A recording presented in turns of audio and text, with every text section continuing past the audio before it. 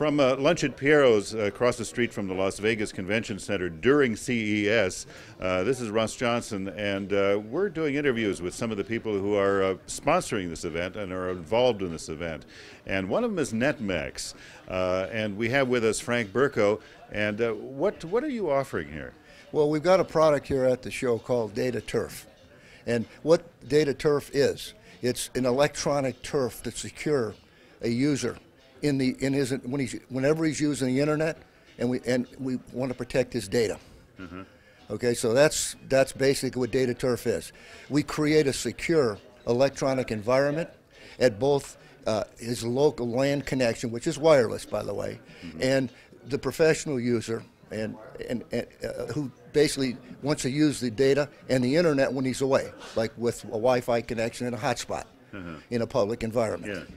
So you may have a lot of protection in your office or at home or whatever, but you don't on the road. Well, you don't even have protection in your home. That, uh, this is uh, the carriers deliver a high-speed connection, and typically a router like a Linksys router is like a plumbing thing. It distributes the connection. But each wire, if all you got to do is go in an I live in Silicon Valley. In, in Silicon Valley, I don't even need to subscribe to a broadband service. I mean, I can take one of my wireless connections and ride my neighbor, the guy across the street, somebody down the way. Everyone knows that they are vulnerable.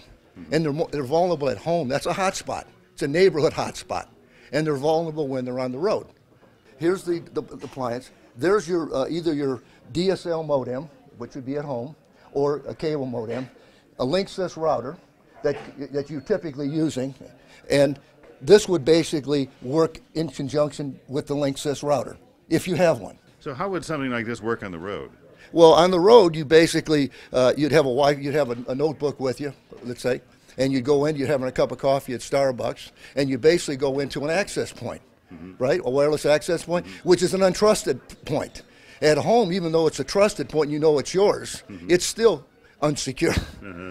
And just by putting WEP in or WPA, and configuring it doesn't solve the problem. Mm-hmm. So all you got to do is go to Google and look at hack WPA, hack WEPA, and you'll find out how in the world to, to get in. Mm-hmm. So when you're on a road, well, it, the first thing is uh, on your on, on your connection, it'll say you're in an unsecure environment.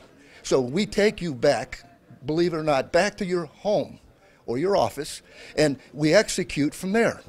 Uh-huh. So, so, you, you were so looking at the if you were looking at your computer on your address, you'd see that the execution is being done on your secure data turf system. In other words, you don't have to haul this thing with you on the road. Oh no, this always stays. It's live. It's powered on all the time. and by the way, Data Turf also, once you use the, the, the secure turf, a Data Turf, you're going to want to use more of its storage. Mm-hmm. It's got a hard drive in it.